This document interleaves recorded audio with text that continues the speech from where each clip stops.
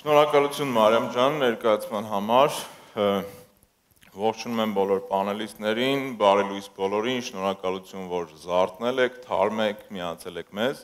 Կփորձենք շատ հետաքրքիր սկսել այս օրը եւ ինչ որ պրոդուկտիվ ավարտի բերել մեր պանելը։ Մեր պանելի թեման վերաբերվում է ինչպես Հայաստանը դառնա տեխնոլոգիաներ կամ արժեք արտահանող հա կարևոր երկիր աշխարհի համար։ Այս թեմայի շուրջ երևի թե բոլոր տենց նախքին թոքերի ժամանակ, խոսքերի ժամանակ տարբեր խոսնակների ինչ որ գաղափարներ քննարկվեցին, այսինքն ինչ որ ուղղություններ ցույց տրվեցին եւ այլն։ Մենք կփորձենք մեր պանելի ընթացքում ավելի տենց հստակ հիմքի վրա դնել, թե ինչու է դա կարևոր, այսինքն մինչև պանելը սկսելը ցանկանում ենք այդ հարցի պատասխանը հստակ ձևակերպենք եւ վստահ լինենք, որ բոլորս համաձայն ենք այդ պատասխանին։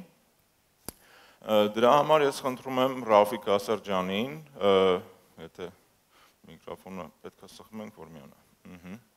Ես կխնդրեմ Ռաֆին պատասխանի այդ հարցին, հետո պանելիստներից, եթե ցանկություն լինի ավելացնել, խնդրում եմ միացեք, թե ինչու է դա կարևոր, որ Հայաստանը ինչ որ արժեք ստեղծի գլոբալ աշխարհի համար, ինչ հարցեր դրանով կարող են լուծվել Հայաստանի համար։ Բնական շնորհակալություն նախ եւ առաջ եւ ուզում իմ կողմից եւ մեր կողմից շնորհակալություն հայտնել Instigate Mobile-ին, GG-ին եւ TCF-ին հրաշալի այս միջոցառման համար արդեն հավանդույթ է դառնում ասենք Հայաստանի եւ նաեւ հիմա Արցախի դարբեր շրջաններում գտնվել եւ շատ ուրախ ենք որ մենք ենք մասնակցում։ Նայեք, ամենակարևոր երկրի զարգացման համար այն ինչ որ ֆինանսավորել է թե գրթությունը, թե առողջապահությունը, թե սոցիալական զարգացումները, դա տնտեսական շարժն է։ Այսինքն ինչքան մենք կարողանանք տեղական արժեք ստեղծել, դա է որ ասենք այն աղբյուրն է, որ մեզ հնարավորություն է տալիս մեր մեր հողի վրա մեր երկրի եւ մեր հասարակության եւ ազգի մշակույթի զարգացումը ապահովել։ Ուրեմն սա ասապելի կարևոր բան է սա եւ այս կոնկրետ այս հարցը որ տրվել է, ինչպես կարող է Հայաստանը դառնալ ծառայությունների եւ ապրանքների արտահանող երկիր, արտահանելով, այսինքն երբ որ քո շուկան ոչ թե մինակ քո տեղական շուկան է, այլ ամբողջ աշխարհն է, դա լրիվ ուրիշ մասշտաբի է բերում այն հնարավորություններ արժեքների, որ կարող ստեղծել։ Մի հատ մեր լավ գործընկեր Արամ Սալաթյանը, որ տարբեր շատ կարևոր կորզնություններ արել Հայաստանում, քիչ շատ մի հատ կարճ բանացև ուներ Հայաստանի հաջողության համար։ Ասում են հիշեք 3-7-7-7 թիվերը։ Հիմա արդեն երևի 3-7 10 դարձավ։ Որ ասա 3 միլիոնը այն 3 այն 3 միլիոն հայերներ, որ ապրում են Հայաստանում եւ Արցախում, 7 միլիոն դա եւ իրենք համարենք որ իրենք մեր ինժեներներն են, իրենք մեր պրոդուկտ պրոդուկտ ստեղծողներն են։ Մենք ունենք 7 միլիոն հայ, որ ապրում է, ասենք մնացած աշխարհով, աշխարհասպյուրքում, իրենք մեր ոնց կոպիտ ասած sales team-ն են, Եվ այդ 10 միլիոններ, այդ 10-ը 10 միլիարդ մեր հաջախորդներ են պոտենցիալ։ Այսինքն պետք է միշտ մենք մտածենք, որ մեր ինչպես տեսանք բազմիցս օրինակներ 3 այս երկու օրվա ընթացքում, այսինքն երբ որ թիրախ այդպես բարձր է ստնում, դա հնարավոր է անել։ Եւ երևի մեր որոշակի, ասենք, արցախցի երդասարտների մեջ, երևի իրանց մտքի մեջ մինչև այս պանելները լսելը, երեք իրենք այդ մեր պանելի վերնակիրը իրենք կփոխեին ոչ թե ինչպես կարող է, իրենք երևի մտածում են արդյոք հնարավոր է որ Արցախից մանավանդ եւ նաեւ Հայաստանից արտահանել եւ ուզում եմ ես ցես հավաստացնեմ որ պատասխանը այո է եւ այս պանելի ընթացքում կորզգերքում մեր կորզընկերներից մեկ մեզ փորձենք ցույց տալ ինչպես է դա հնարավոր։ Շնորհակալություն։ Շնորհակալություն Ռաֆիկ ջան։ Եթե այս հարցին ավելացնելու մաս չունենք, ես ուզում եմ տենց ինչու հարցից հետո տենց անցնենք ինչպես հարցին։ Ու այստեղ նստած են բավականին մեծ փորձով ու տարբեր հաջողություններ ու անհաջողություններ տեսած մարդիկ, տարբեր ընկերություններ ստեղծած, ովքեր ամբողջ աշխարհի համար այս պահին էլ ստեղծում են արժեքներ։ Այսինքն իրանք նենց product, նենց team, նենց հետաքրքիր գործ են անում այդ ամեն ինչով, որ աշխարհում ոնց որ պատկերացրեք, չգիտեմ, դուք Ամերիկայում ինչ որ ընկերություն եք, ձեզ ինչ որ լուծում ա պետք։ Դուք հնարավորություն ունեք դա պատվիրել ցանկացած մարդու, ցանկացած տեղում, հա, այսինքն լավագույն talent-ը, լավագույն ընկերությունները եւ այլն ձեր շրջապատում են։ Բայց այս մարդիկ ցույց են տվել, որ Հայաստանից հնարավոր է այն որակ տալ, այն տիպի լուծում տալ, որ դու հետաքրիր լինես աշխարհի լավագույններին։ Դրա համար ես մեր պանելիստներին խնդրել եմ, որ բավականաչափ խորը պատմեն նաև իրանց փորձի մասին, անձնական փորձի մասին, թե ոնց են տարբեր գաղափարների եկել, ոնց են լուծել այդ հարցերը եւ կարողացել հասցնել այդ ապրանքները ամբողջ աշխարհին։ Մենք խոսացինք տենց պանելիստների հետ մինչև մեր պանելը տարբեր, հա, մոտեցումների մասին ու մի հատ կարևոր հարց կար, ոնց որ ոնց հասկանալ տվյալ լուծումը ամբողջ աշխարհին հետաքրքիր է, թե չէ, այսինքն խնդրի ձևակերպումը ոնց հասկանալ, ինչ ճանապարհով է պետք անցնել, որpիսի մենք հասկանանք, այս գլոբալ խնդիր է, էսի ամբողջ աշխարհին է պետք։ Այս հարցի պատասխանը խնդրեմ, որ Վահանը սկսի, հետո կարող են բոլոր գործընկերները միանան։ Այսօր Անկալություն երկու խոսքով ներկայացնեմ, հետո այդ այդ հարցի պատասխանը կտամ։ Անունս Վահան է, ես հիմնադիր եմ Կերպակ Technology բան company, ինքը շատ երիտասարդ է, ինքը մի տարի մի տարի կա։ Զբաղվում է ավտոնոմ RF3 կետերի ստեղծման սննդի, սննդի համար Մինչև կերպակի մասին խոսելը երկու խոսքով ներկայացնեմ իմ փորձը, որը այս ոլորտում չէր, 25 տարվա փորձ ունեմ IT ղեկավարման ֆինանսական ինստիտուտներում, հիմնական Ռուսաստանում, մի քանի տարի նաև Ամերիկայում եւ ստեղծելով շատ ծանր ծանր շատ օպերացիաներ արտադրող համակարգեր։ Դրան նմաններ օրինակ բորսայի բանը, equity բան, Moscow Stock Exchange-ի համակարգը եւ այլն։ Այսինքն այդ փորձը բերելով, աշխատելով աշխարհի տարբեր երկրներում քեզ մեջ ոնց որ հավաքում են որոշ որոշ թեմաներ, դու տեսնում ես խնդիրներ։ Այդ անդադ այդ խնդիրների վերլուծման process-ը իմ մոտ կար եւ ինչ որ վերցնում ես խնդրեմ, հասկանում ես կա շուկա, կա պահանջ, ինչով դու կարող ես լինել ավելի ուժեղ, ավելի մրցունակ ապրանք անես եւ Այդ տարիների ընթացքում դրա եկավ մի քանի փորձ անհաջող փորձերից հետո եկավ կերպակի գաղափարը, որը փաստորեն թույլ է տալիս ռեստորաններին, սննդի արտադրության ֆերմերներին եւ մթերքի մանրածախ կետերին ստեղծել իրանց կետերը առանց վաճառողի։ Այսինքն այդ Amazon Go-ի տարբերակը կարող է հիմա թույլ տալ իրեն շատ փոքր սննդի կետը կամ կամ կամ խանութը։ Այդ գաղափարը ծնվեց Հայաստանում, տեստ արվեց մի քանի երկրներում, այսինքն դրա պահանջարկը կա։ Լոնչ են կարել մարտ ամսին Երևանում եւ հիմա պատրաստում ենք լոնչ մի քանի երկրներում, որտեղ պլատֆորման թույլ է տալիս միաժամանակ աշխատել մի քանի մի քանի երկրներում։ Հիմա վերադառնալով հարցին, այստեղ կարևոր է ընտրել այն խնդրեմը, որը դու կարող ես լուծել ավելի լավ, քան թե քան թե մեկ ուրիշը։ Եթե համեմատենք մեզ երևի լավ է համեմատել Իսրայելի հետ, Իսրայելի հաջողությունը տեխնոլոգի բանը տեխնոլոգիական ոլորտում գալիս է դրանից, որ ինքը շատ ինքը համեմատաբար փոքր երկիր է, իր շուկան չկա, ինքը 8 միլիոն են իրենք։ Դրա համար ամեն մի լուծում, ինչ որ ծնվում է այնտեղ, լուծում է global շուկայի համար, ընդհանուր աշխարհի համար։ Հիմա Հայաստանի փորձն էլ պետք է, այսինքն Իսրայելի փորձը օգտագործելով հայկական այն հաջող կազմակերպությունները, որոնք հասել են հաջողությանը, իրանք աշխատում են աշխարհի աշխարհի շուկայի համար։ Հիմա ո՞նց գտնել այդ խնդրեմը։ Այդ խնդրեմը կարող է լինել կողքդ, քո քաղաքում, քո քո գյուղում։ Այդ խնդրեմը կարող ես դու տեսնես քո աշխատանքի մեջ։ Այդ խնդրեմը կարող է լինի այն ոլորտում, որում դու աշխատում ես։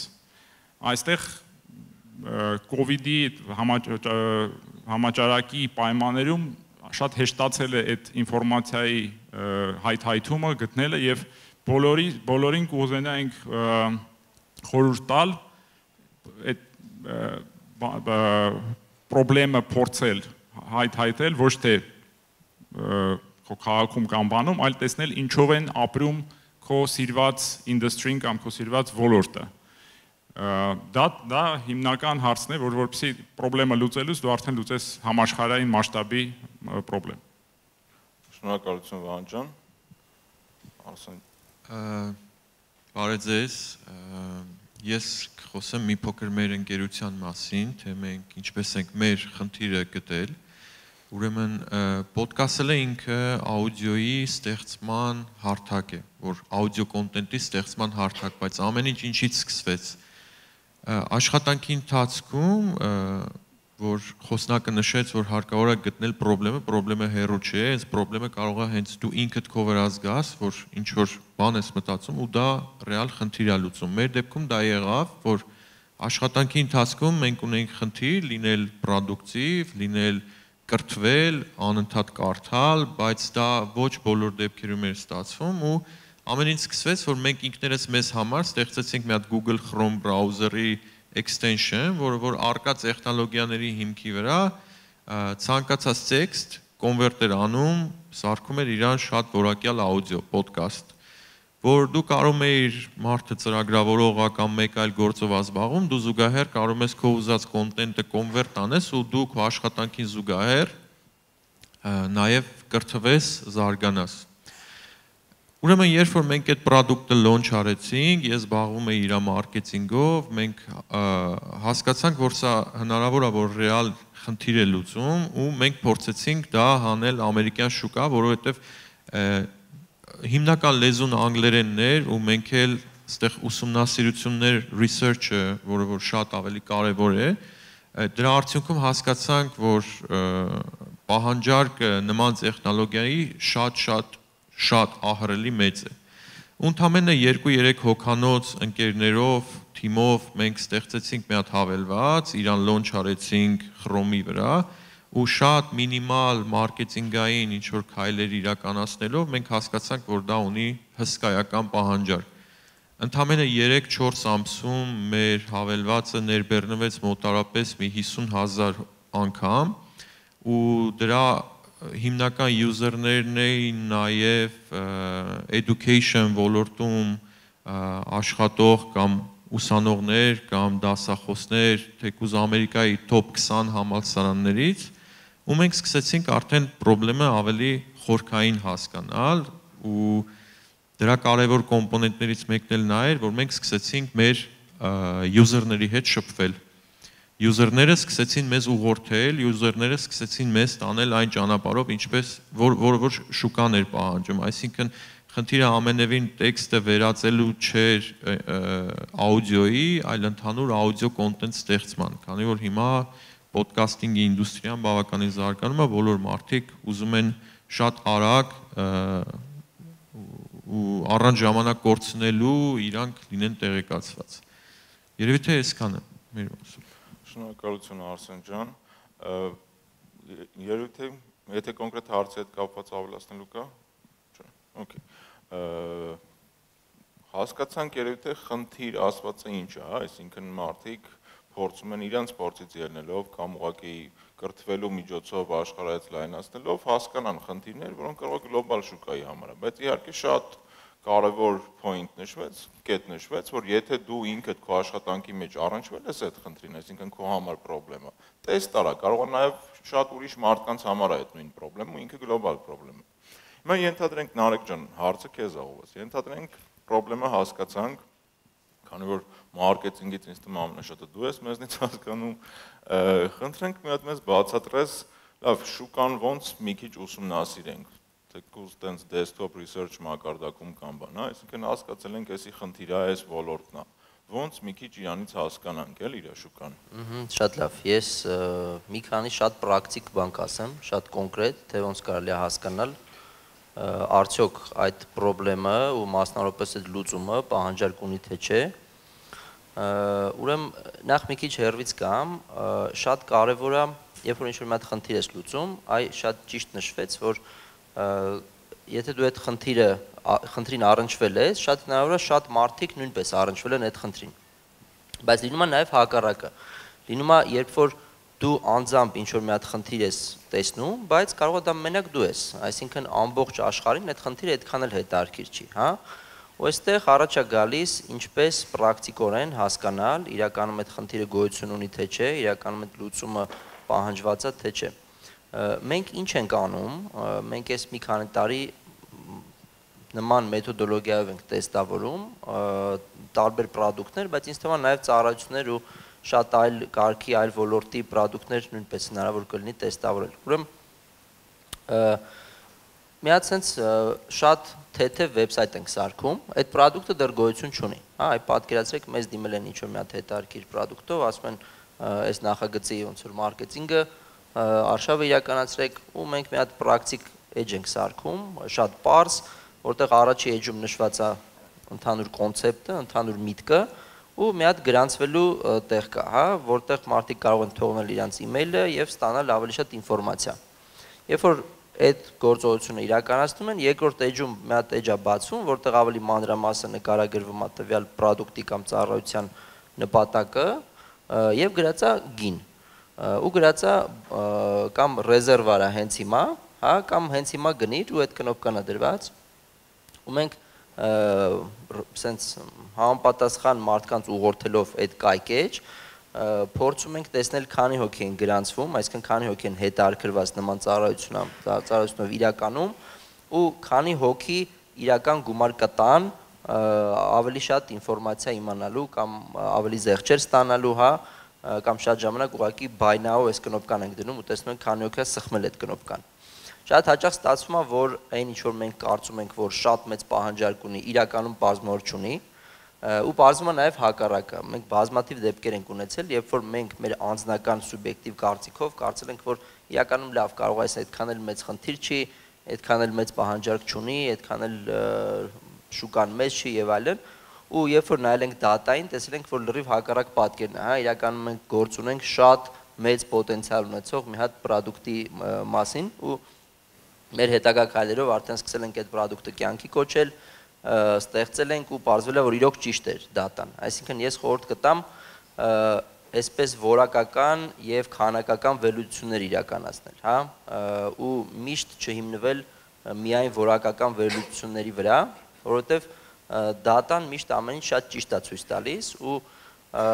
նման process-ի արդյունքում դուք ոնց որ սիմուլյացնում եք իրական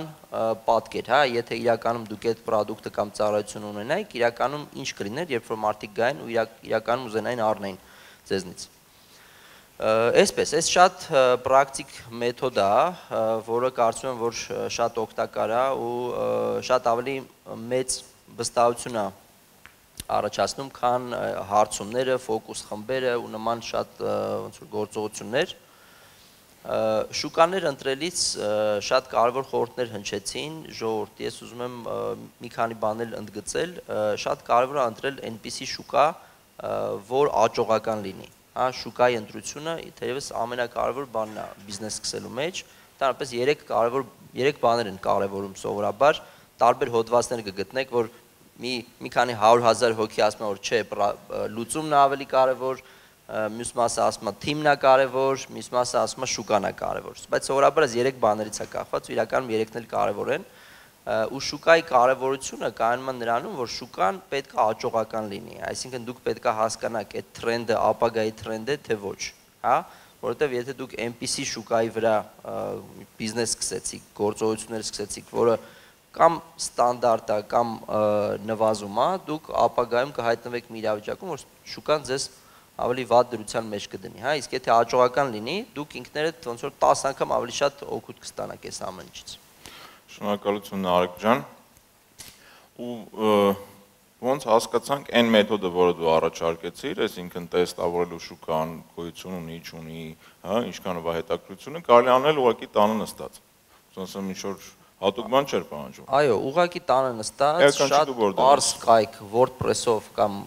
կայք կառուցելու մենք նման պրեզենտացիաներ նույնպես ունեցանք, թե ինչպես շատ արագ կառուցել կայքեր, նման կայքեր կառուցելու միջոցով դու ուղակի իրականացնում ես մի իրավիճակ, երբ որ ինչ տեսք ունենար քո product-ը, եթե ինքը իրականում վաճառվեր, հա, ու դու այդ ընթացքում կարող ես չունենալ այդ product-ը, ունենալ իր ընդհանրը նկարագիրը, ունենալ ինչ որ դիզայն, ինչ որ էլեմենտներ, որ մարդկանց հնարավորություն կտա հասկանալու արդյոք այդ product-ը իրական է թե ոչ, ու իրականացնել այս process-ը տեսնել արդյոք մարդիկ իրոք սեղմում են այդ գնել հիմա կոճակը, արդյոք մարդիկ պատրաստ են ինչ որ գումար տալ զեղչեր ստանալու համար, հա? ու ըստ դրա հասկանալ ինչքան մեծ է պահանջարկը, ինչքան չէ։ Շնորհակալություն։ Okay, մենք քննարկեցինք ոնց որ հարցերը վերջում, հա, մերսի շատ։ Մենք քննարկեցինք ոնց որ քո հարաբերությունները մտքի շուկայի հետ, այսինքն խնդրին հասկանալու, իրան գնահատելու մասին։ Մի հատ ուրիշ կտորի մասին եմ ուզում խոսանք, որը թիմ ու պլյուսը, հա, սենց մտածենք իր մասին, այսինքն մարդկանց հետ ոնց է հարաբերությունները կառուցում նման գործի մեջ, ինչպես է թիմակիցներ գտնում քո համար կամ ողջավորում թիմակիցների, ինչպես է նետվորքինգ անում, պարտներներ գտնելու համար, կլիենտներ գտնելու համար եւ այլն։ Ուզեի ձեր փորձով կիսվեք, ինչ խնդիրներ եք ունեցել կամ որն է ճիշտ ճանապարհը, ոնց նետվորքինգ անեն։ Այսինքն նետվորքինգի արդյունքում միգուցե եւ թիմակից կարող է առաջանալ քո համար, ով ողջավորվի չէ քո իդեայով եւ այլն։ Այսինքն այս տոպիկը ձեր անցած ճանապարհով։ Շնորհակալություն ողջույն բոլորին։ Ուրեմն մեր կազմակերպությունը մատուցում է ծառայություններ արդեն 10 տարուց ավել, 11 տարուց ավել ավելի ճիշտ։ Մենք հասել ենք արդեն այն իրավիճակի, որ այսօր արդեն Daimler-ի պես կազմակերպությունը, որ արտադրում է բացի մեքենաներից նաև թրակեր, մեծ թրակեր, այդ Daimler Trucks կազմակերպությունը մեր հետ արդեն պայմանագիր է կնքել, իհարկե մեր ամերիկյան գործընկերոջ միջոցով, ում համար մենք AI innovation ենք արդեն սկսել անել այսինքն օգնում ենք այդ կազմակերպությանը բանական արհեստական բանականությամբ որոշակի խնդիրներ լուծել, որը ինքը մինչ այսօր չէր կարող ինքնուրույն դա աներ։ Ինչպես ենք մենք դրան հասել, իհարկե առաջինը քրտնաջան, քրտնաջան աշխատանքի շնորհիվ, սովորելով, փորձելով, տարբեր պրոյեկտներ անելով, վստահություն ներշնչելով մեր պատվիրատուներին, դա շատ կարևոր էլեմենտ է բիզնեսում եւ որ քեզ քո թեմին վստահում են կարևոր աշխատանք։ Իհարկե մի մասը դա ոնց որ հաջող աշխատանքի միջոցով մեկ հաջախորդ խորտ է տալիս, երկրորդ հաջախորդին, երրորդ հաջախորդին, նաև շատ կարևոր է մարքեթինգի էլեմենտը, պետք է համեստ չլինել, պետք է ներկայացնել, պետք է կարողանալ ներկայացնել ներուժը, մենք հայերը շատ դեպքերում շատ համեստորեն ենք մեզ պահում եւ զիջում ենք շատ ուրիշ ազգերի ներկայացուցիչներին, որոնք մեր ներուժի կեսը ունենալով կամ կեսը թեկուզ չունենալով կարող են կարողանում են շատ հոյակապ ձևով իրանց ապրանքները եւ ծառայությունները վաճառել։ Շատ կարեւոր է լինել արդիական ուսուցում այսինքն ինքնաուսուցմամբ զբաղվել, որտեղ շատ պահանջված գիտելիքներ ցավոք սրտի դժվար է համասանում կամ ինչ որ կրթական այլ օջախում ձեռք բերել, պետք է շատ մասնագիտական ինչ որ տրեյնինգներ անցնել, փորձել գտնել նրանք մեր երկրում կամ ինչ ոչ on-line այդ կուրսերայի subscription-ները, որ տրամադրվելու են ձեզ ժողովուրդ, դա շատ հոյակապ հնարավորություն է եւ ես կցանկանայի, որ դուք ընտրեիք ամենա ամենա ձեր համար դժվար թվացող ինչ որ training եւ փորձեիք այն իրականացնել, գիտելիքներ ձեռք բերել։ Շատ կարևոր է ստեղծել թմեր ասենք թիմի իմաստը ամենակարևոր այն է, որ թմով հնարավոր է անել ավելին, քան թե ամեն մեկը առանձին առանձին փորձեք համախոհներ գտնեք, փորձեք միավորվեք, մանեկեք մարկանց ում հետ դուք զգում եք, որ հեշտ կարող եք աշխատել։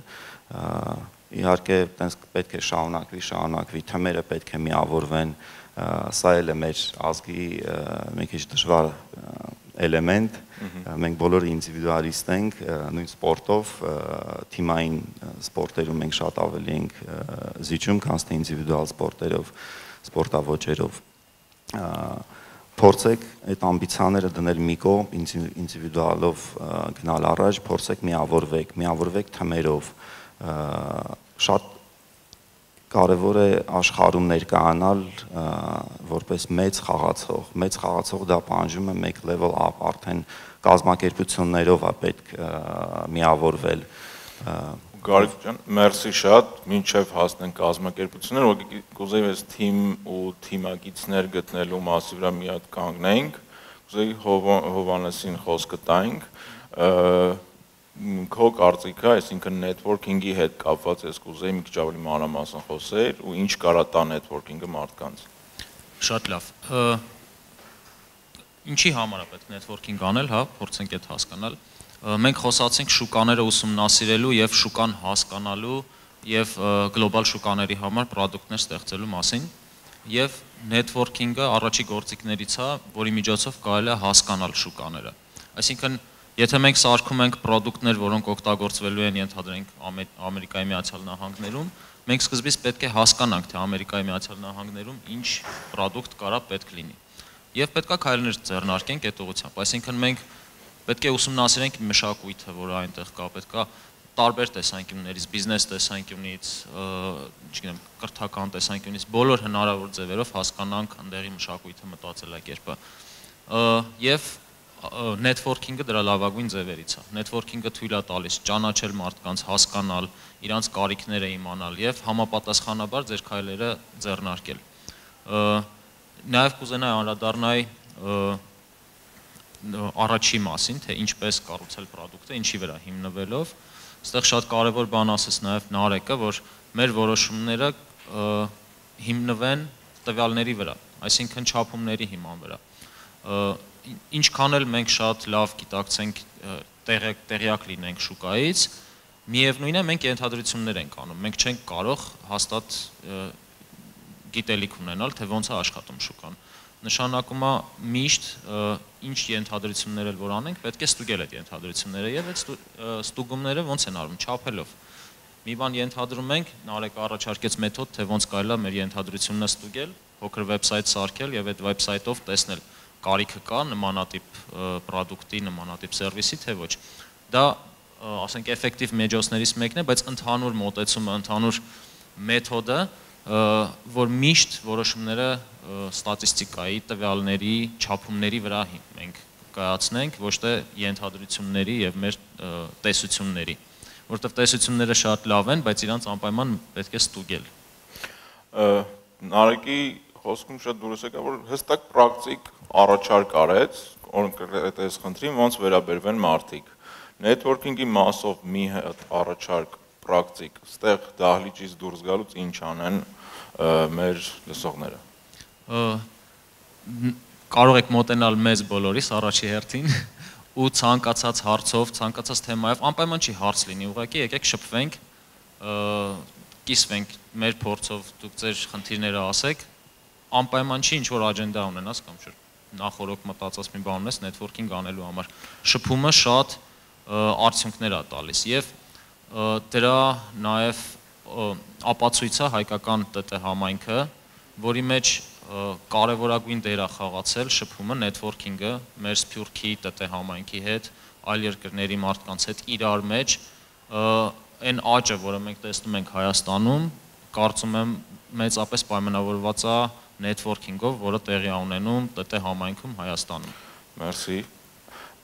Արսենը ոնց որ ուզում ավելացնի։ Ես թիմի մասով ընդհանրապես մի փոքրիկ հավելում անեմ։ Ուրեմն, երբ որ product-ը արդեն մենք հասկանում ենք, որ ահա այսպիսի product-ա պետք ստեղծել, ամենակարևոր բանը դա արագությունն է որովհետև միջև մենք ստեղ նստած մտածում ենք, ես վերջերս լսում էի, ասում էին Չինաստանում կամ Հնդկաստանում արդեն հազարավոր մարդիկ այդ նույն բանի մասին մտածել են, այսինքն արդեն դու այլևս խնդիր ունես արագության։ Հիմա արագության հետ կապված ամենակարևորը թիմն է, ինչպես հավաքել թիմ։ Թիմի համար օրինակ մեր ընտրությունը կանգնել է հետևյալ կրիտերիաների վրա։ Ամենաառաջնային, հիմա մենք նշում ենք networking, սա networking-ի համար ֆանտաստիկ հարթակ է, որ เป զի մենք ձեռք բերենք ինչքան հնարավոր է շատ network Երբ որ արդեն իդեան լինում է, որ ահա մենք պետք է մտնենք շուկա, ամենաառաջինը պետք է օգտագործել network-ը, network-ում գտնել ընկերներ ու արագության ամենակարևոր կոմպոնենտը դա վստահությունն է, վստահությունն է թիմի անդամներին։ So այդ ամենաառաջնային մասում հարկավոր է շրջապատում գտնել ընկերներ, ինձ թվում է դա հայկական կարծրատիպ է, որ ասում են չարժի ընկերներով ինչ որ գործ անել եւ այլ եւ այլ, ինձ թվում է ընդամենը մի հատ պետքա shareholder agreement ու ամբողջ հարցը կլուծվի ու հարկավոր է վստահել ընկերներին, ամեն մեկը իր ճյուղը, իր մասով տանել ու հստակ արագությամբ։ Այսքան։ Շնորհակալություն, Աշոտ ջան, Ես Հովանեսի ասացին ավելացնեմ, որ ոչ թե կարող եմ մեզ մոտենալ, եւ եւ պարտավոր են, պարտադիր պետք է մեզ մոտենալ, որպեսզի շփվենք։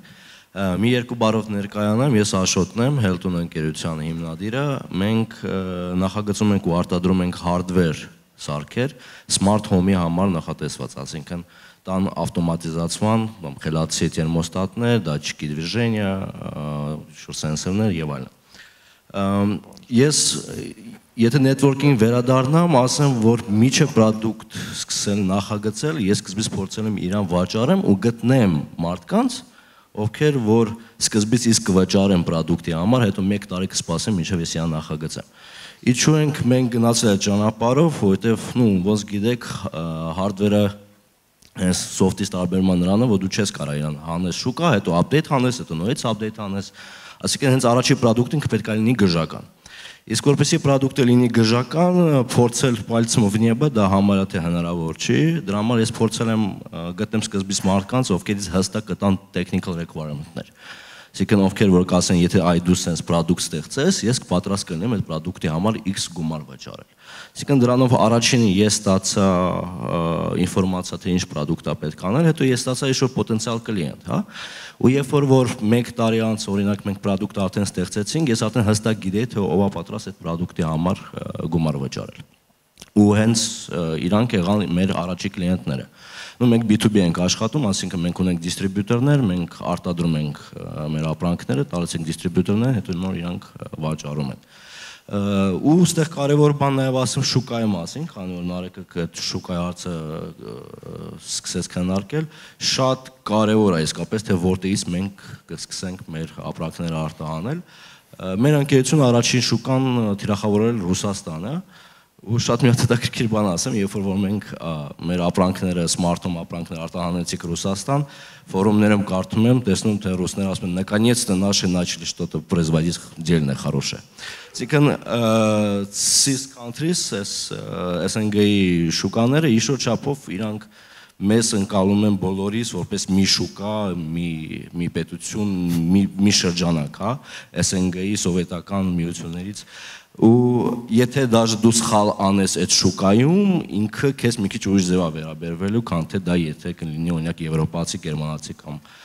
ամերիկացի։ Այսինքն իսկապես շատ կարևոր է ու մեր միջև արեսօր չնայած որ մեր ապրանքները վաճառում է 25 երկրներում, Ռուսաստան ամենամեծ շուկան մեր համար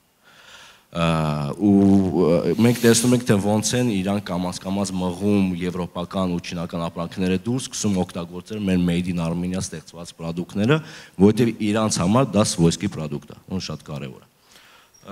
Ու կարճ խոսամ, հետո էլի կավելացնեմ։ Շնորհակալություն Աշոտ ջան, Նարեկ ջան։ Մի մի բան ավելացնեմ networking-ից, ժողովուրդ, իրականում շատ բան է ձեզնից կախված, ու շատ կարևոր է այդ պրոակտիվ լինելը, հա։ Այս մի հատ դեպք եմ հիշում, երբ որ մենք նոր ենք սկսել մեր ընկերությունը,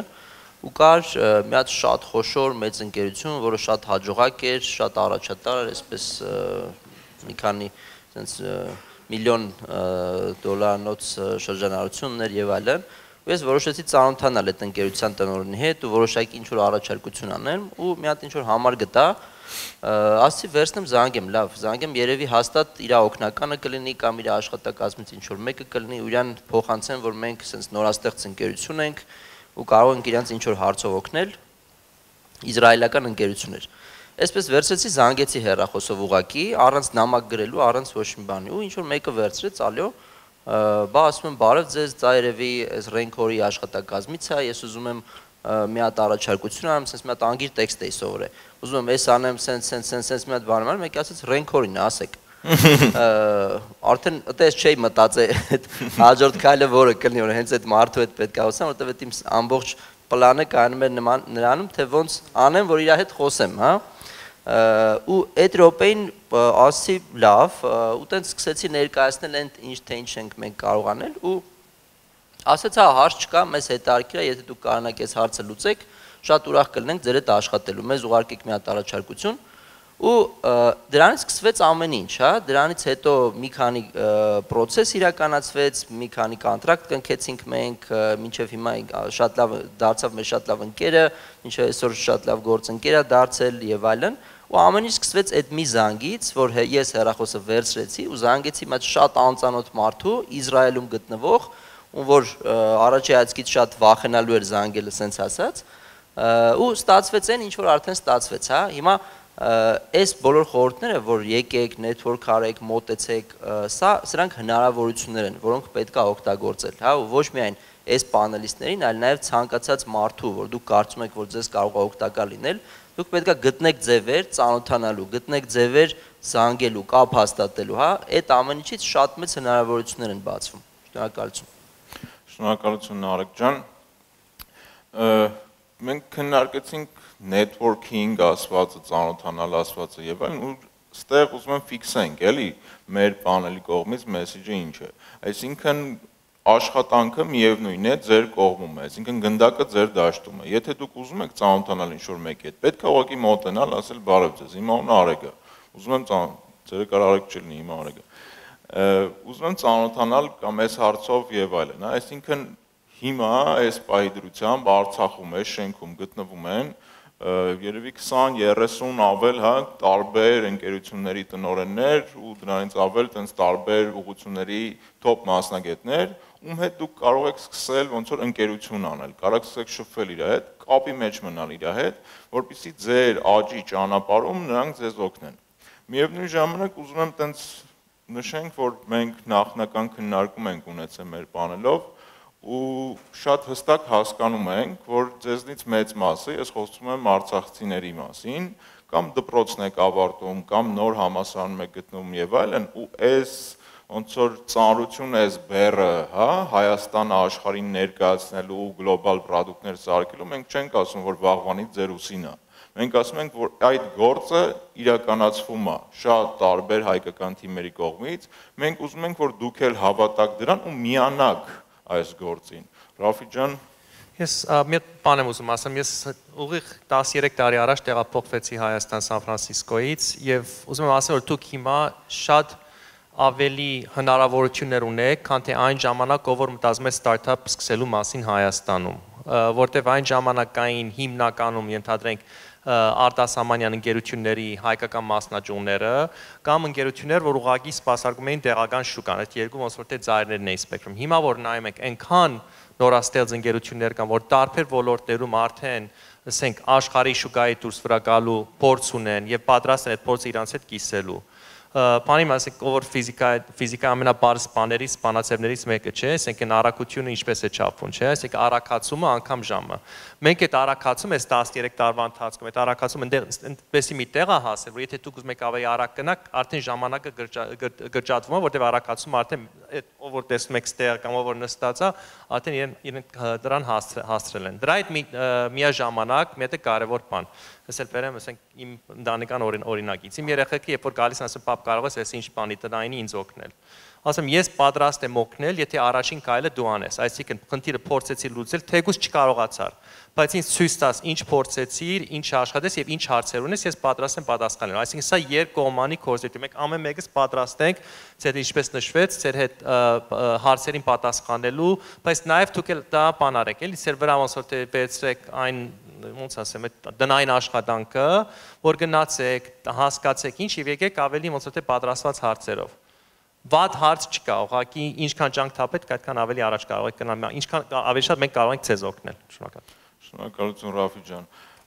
Մենք արդեն մոտեն մենք ոնց որ պանելի վերջին, դրա համար կուզենայի շատ կարճ բոլոր պանելիստները կամ ով կցանկանան, օքեյ, վաղը ինչ անեն այս մարդիկ։ Հաջորդ քայլերը իրանց որոնք են, հա, ինչով զբաղվեն, ինչև որ կգանք հայտարարությանը մեր պանելի առաջարկին, էլի, այսինքն ձեր անձնական օրինակով կլինի կամ խորհրդով վաղը ինչ են անում։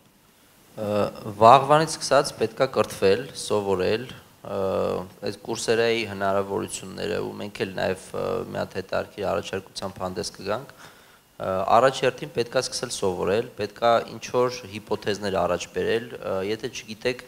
ինչ անել, կարող է հարց կարող եք հարցնել ընկերներին, հա, հարցնել շրջապատին, դուք ինքներդ ինչ որ առաջարկներ մտածեք, սկսեք փորձեք, մի վախեցեք սխալվելուց։ Այս ամենակարևոր բաներից մեկն է, որ կարծում եմ բոլոր հաջողության հասած մարդիկ ձեզ կասեն, որ հաջողությունը միանգամից չի լինում։ Հաջողությունը դա ուղղակի անհաջողությունները այսպես շարունակելու միջոց է, հա, եթե դու կարողանում ես անհաջողությունից անհաջողություն գնալ, հաստատ հաջողություն է լինում ու մի վախեցեք սխալվելուց։ Եթե մի բան անեք չստացվի, այդ լրիվ նորմալ է հա, ու դուք այդ ընթացքում կսովորեք լիքը բաներ, ինչ պետք չի անել ուղակի։ ու ամենակարևորը արագ, ինտենսիվ կրթվել, մեծ ամբիցիոզ նպատակներ դնել ձեր առաջ ու ամեն ինչ կստացվի։ Մերսի։ Ես կփորձեմ մի հատ նպատակ ձևավորեմ այստեղ գտնվող արցախցիների համար։ Եթե այդ նպատակը դիցուկ համարենք որ ցանկացած արցախցի երիտասարդ ունենա մեծ ամբիցիաներ եւ կարողանա այդ ամբիցիաները իրագործի իրականացնի այստեղ, հասնի իր նպատակների, հասնի երազանքների, ապա իհարկե դա հնարավոր է։ Հնարավոր է տեխնոլոգիական ոլորտում եւ ինչպես ասես Նարեկը անպայման սկսես սկսեք կրթվելուց, ինքնակրթվելուց, մի անգամից ինչքան հնարավոր է շուտ սկսեք փորձ ձեռք բերել լինի այստեղի մասնաճյուղերում, լինի լինի հայկական կազմակերպությունների հետ, որոնք Երևանում են գտնվում կամ Հայաստանի այլ քաղաքներում, լինի դա արտասահմանյան ընկերություններ։ Ձեռք բերեք փորձ, այդ փորձը ձեզ թույլ կտա արդեն եւ ճանապարհ ունենալ դեպի ֆինանսական անկախություն եւ ինչ որ ձեր սեփական իդեաների իրագործման ճանապարհը դրանից հետո արդեն ինչպես նշվեց նախորդ ելույթներում դուք կտեսնեք ինչ խնդիրներ դուք կարող եք լավագույնս լուծել եւ լուծում առաջարկել աշխարհին Շնորհակալություն Ես ես կուզենայի մի հատ շեշտադրություն անել մի երկու բանի վրա, որի մասին մենք խոսացինք արդեն։ Առաջինը վստահությունն է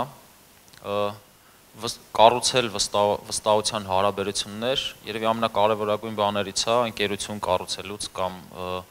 ինչ որ նոր product ստեղծելուց, որովհետև վստահությունը այն սոսինձն է, որով հասարակությունը կպնում է իրար եւ դառնում է մեկ ամբողջություն։ Եթե չկան վստահության հարաբերություններ, ամեն ինչ շատ-շատ դանդաղ է ու ոչ էֆեկտիվ։ Նույնը ընկերության մասշտաբում, եթե ընկերության մեջ այնպիսի հարաբերություններ են, որ մարդիկ իրար վստահում են, թե դժվար, թե հաջողության, թե դժվար ժամանակ, թե երբ որ հաջողության եք հասնում, անկախ իրավիճակից, այդ դեպքում այդ ընկերությունը շատ էֆեկտիվ է աշխատում։ Դա համ պրագմատիկ, համ երջանիկ մոտեցում, այսինքն եթե դու ունես շրջապատ, որին վստահում ես, դու համ քեզ լավ ես զգում, համ էլ դա պրակտիկ արդյունքների է բերում։ Դրա համար հա, կառուցել վստահության հարաբերություններ ծայրահեղ կարևոր է։ Եվ երկրորդը նաև այդ կոնտեքստում սխալվելու մշակույթը, որ սխալվել պետքա անպայման սովորել սխալվել, սխալվելը պետքա լինի ձեր process-ի մի մասը։ Նախորոք պետքա պլանավորվի, որ ես սխալվելու եմ եւ ինչ եմ անելու այդ սխալվելու դեպքում։ Ռիսկը մի կտորն է մեր աշխատանքի ցանկացած բիզնես, ցանկացած նոր նախաձեռնություն միշտ ռիսկային է։ Եվ դա դրանից հնարավոր չի խուսափել, հենց այդ է բիզնես կառուցելը եւ այդ սխալվելու հնարավորությունը եւ սխալվելից չվախենալը եւ նույնիսկ պլանավորելը եւ գործի մի մաս կազմելը սխալվելը շատ կարեւոր է։ Շնորհակալություն։ Այսքանը։ Եթե խոսենք նրա մասին, թե ինչ պետք է հենց անել վաղը, ես երևի ամենառաջինը կնշեի, որ թարգեք ձեր ժամանակը անցկացնեն սոցիալական ցանցերում։ Դա պրոստը ժամանակի կորուստ է բոլորս ունենք հերախոսի վրա ծրագիրը, որ ցույց է տալիս, թե օրվա վերջում դուք որտեղ ինչ հերախոսի վրա ամենաշատ ինչի վրա եք ժամանակ ծախսում։ Ու եթե ցույց է տալիս, որ կես ժամից ավել է սոցիալ կյանքում, ուրում սոցիալ սանսերում դուք կես ժամից ավել ժամանակ եք ծախսում, հավանաբար դուք սխալության վրա եք։ Երկրորդը ինչ կարելի է անել, իրականում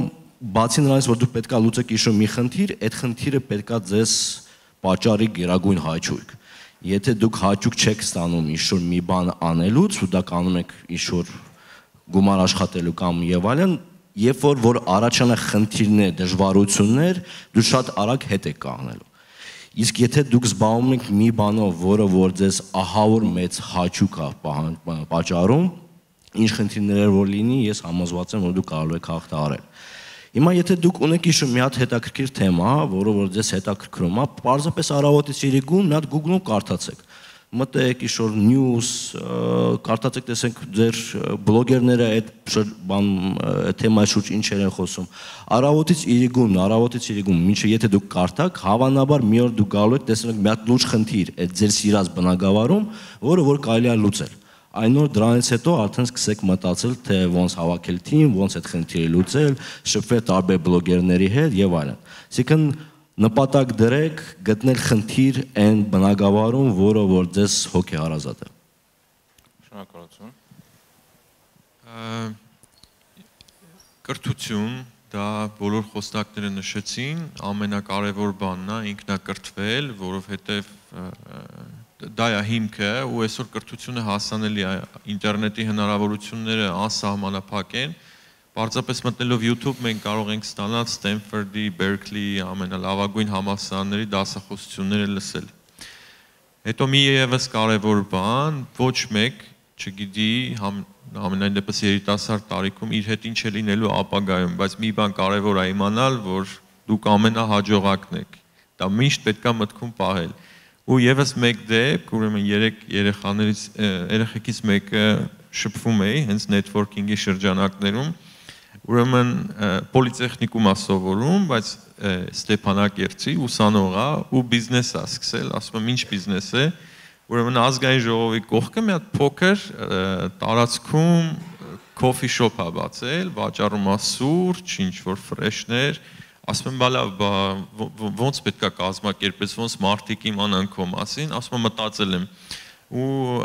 ասում եմ մեր աշխատակցուին մոտ 60000 follower ունի TikTok-ում արդեն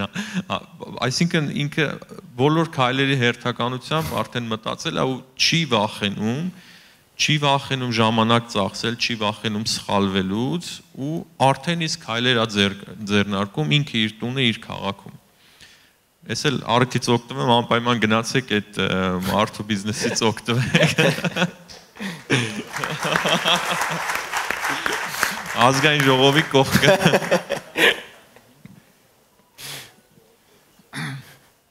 Ես մի խորհուրդ կտամ,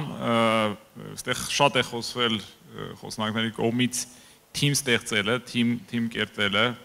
եւ ինձ թվում է այստեղ շատ կարեւոր է, քանի որ սա տեխնոլոգիական ոնց որ մեր հանդիպում աժողովա, բայց այդ ոլորտում կան շատ դերեր, որոնք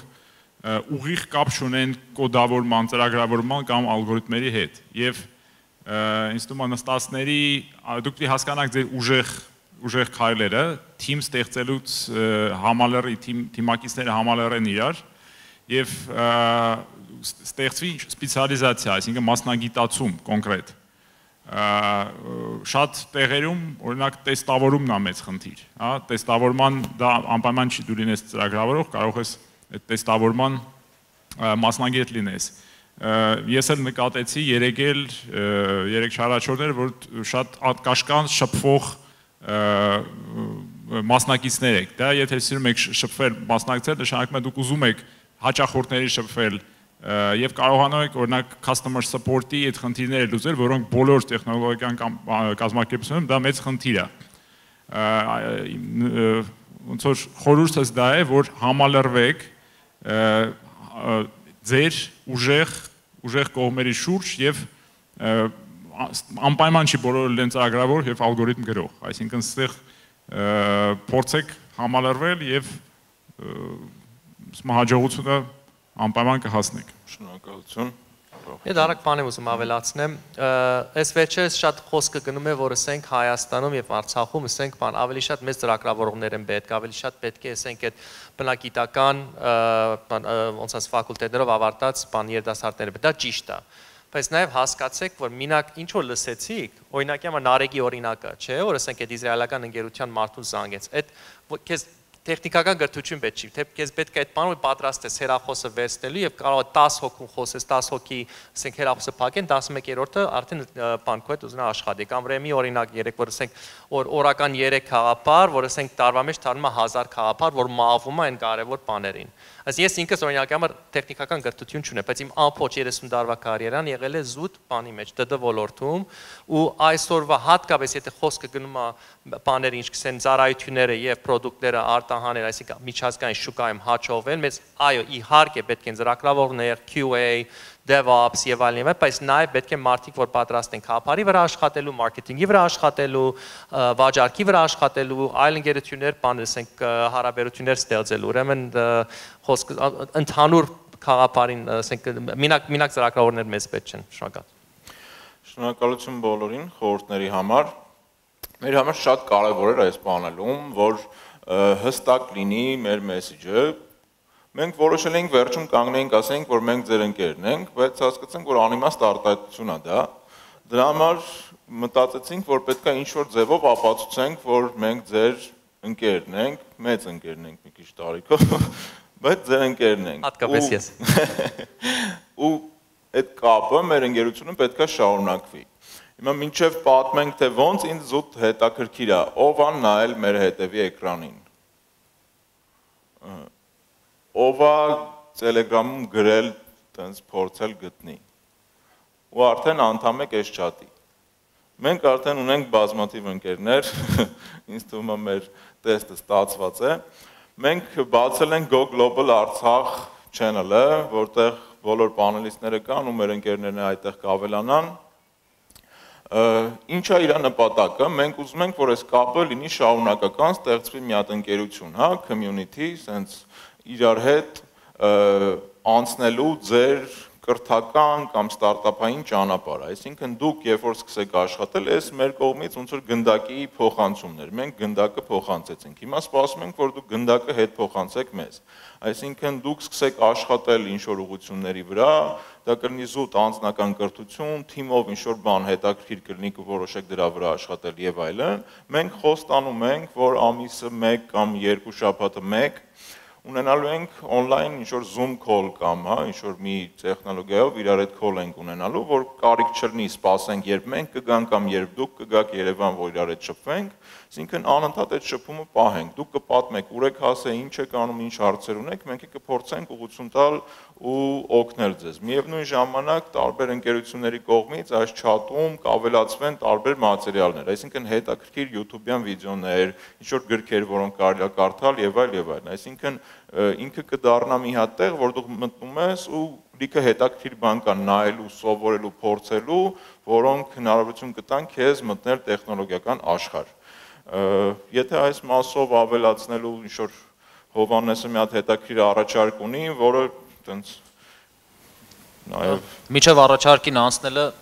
մի հատ բան եմ ուզում ասեմ. Երևի մերսնից շատերի համար ահագին բարդ էր միջև Արցախ գալը մեր մտածմունքները մտածում էինք, որ դժվար է լինելու, չգիտեմ, ծանր կլինի եւ այլն եւ այլն եւ այլն։ Բայց ես չեմ հիշում, թե վերջի անգամ երկու օրվա ընթացքում ինչքան եմ այսքան ուրախ, երջանիկ, սենց հուզիչ պահեր երբեմ ապրել։ Մենք ուղակի տեսանք, թե Արցախի ժողովուրդը ինչքան անկոտրուն է, այդ սխալվելու թույլ տալը իրանք կարողանում անի եւ անկախ ամեն խնդիրներից նույնձև շարունակում աուրախ հյուրասեր լինել եւ ասենք ես երբեք չէի սպասի որ Ֆլորենսի անձնակազմը բարձերով կպահկվի պատի հետևը ու կսպասի երբ ես դուրս գալու որ ինձ վախացնի բարձերով Ուղղակի ուրիշ տրամադրությամբ էինք էլի գալի չէինք պատկերացնում որ տենց տենց ա լինելու դա հենց է դա որ ոչ մի խնդրի դեպքում պետք չի հուսահատվել եւ պետքա շարունակել գնալ առաջ։ Սխալները նրա համար են, որ սովորենք մենք սխալների վրա։ Եվ ես նաեւ մեր ընկերությունը ստեղծում է ստարտափներ։ Մենք ստարտափ գործարան ենք կարելի այսպես ասել, տարբեր տեսակի տեխնոլոգիական ապրանքներ ենք ստեղծում, աշխատում ենք տարբեր ընկերությունների հետ աշխարհի տարբեր ծայրերում։ Եվ ես ուզում եմ այս մեր Go Global Արցախի շրջանակներում միջև միջև աշուն ընտրել մի թիմ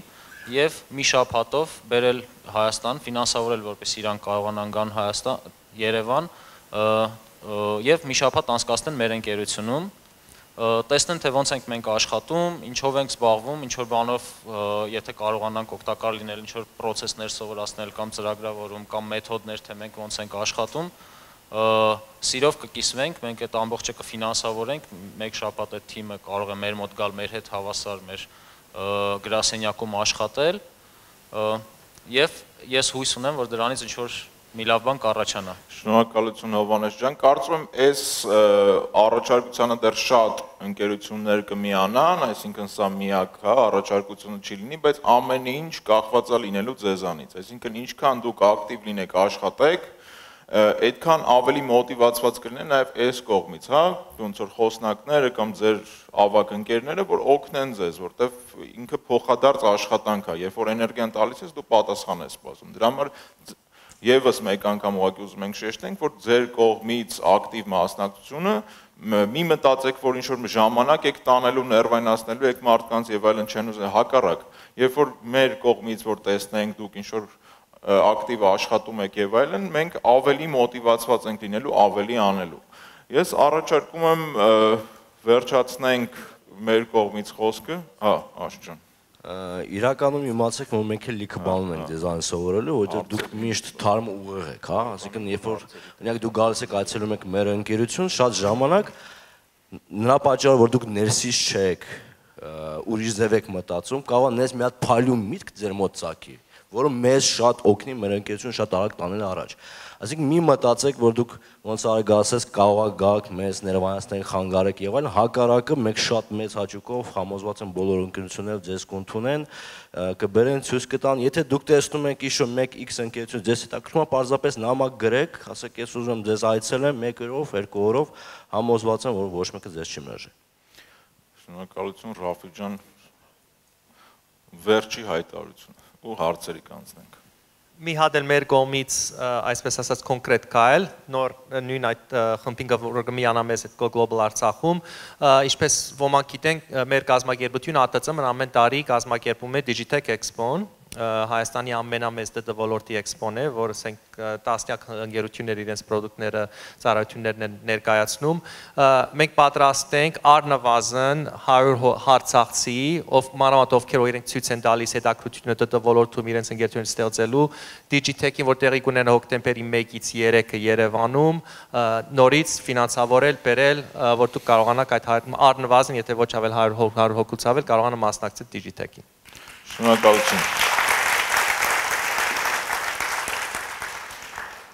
Շնորհակալություն բոլոր պանելիստներին։ Հիմա մեր շատ կարճ ժամանակ է մնացել, բայց անցնենք հարցերին։ Ես հիշում եմ մի հատ հարց ունեինք, որ ես խնդրել եմ սպասեն, լսում ենք։ Բարև ձեզ, նախ շատ շնորհակալություն։ Վստահ եմ շատ խորհուրդները օգտակար կլինեն հյուրերի համար։ Բայց ինչ որ մի խորհուրդ նույնիսկ իմ համար էր օգտակար։ Նարեկ ջան, այդ որ պատմում էի վեբ կայքի հետ կապված։ Բայց մարդիկ որ մտնում են այդ կնոպկեն սխմում են, հետո ինչ են ստանում։ Ուրեմն մի քանի ձև կա։ Նախ մարդիկ ռեզերվ են անում ինչ որ զեղչ, որը ապագայում այդ product-ը արտադրվելու ժամանակ իրենք ստանալու են, հա? Եթե այդ product-ը դուք որոշեք չարտադրել, հետո իրենց refund կանեք։ Այսինքն իրենք չեն տուժի։ Բայց եթե արտադրվի այդ product-ը, իրենք կստանան հստակ զեղչ այդ ձեր product-ի կամ ծառայության ժամանակ։ Հա, փաստորեն գնորդը հենց գումար է տալիս, հենց այդ պահին վճարում է կատարում։ Այո, այո, հենց իրական գումար է տալիս, ասենք 5 դոլար կարող է տա, այս զեղչը ռեզերվ անելու։ Զեղչային կուպոն է ստանում, կոպիտ ասած արդյունքում։ Ինչ չեն ստանում։ Զեղչային կուպոնի նման մի բան է ստանում։ Հա, կարելի է այդպես էլ ասել։ Շատ լավ, շնորհակալություն։ Ունենք հարցեր։ Կամ առաջարկներ։ Հələ հələ գնդակը չեն ուզում տշեն ոնց։ Դե շնորհակալություն բոլորին։ Շնորհակալություն բոլոր պանելիստներին։